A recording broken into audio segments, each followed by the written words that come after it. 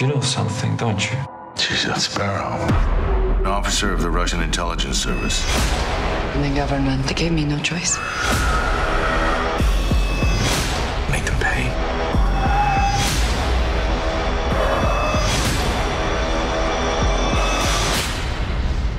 There's something else we're not seeing.